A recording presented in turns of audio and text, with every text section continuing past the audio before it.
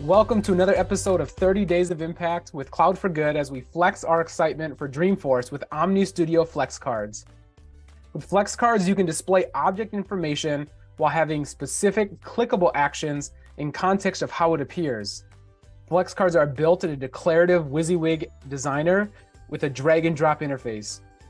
Flex Cards can be leveraged internally to users to support their day to day or on an experience site for an engaging experience with constituents.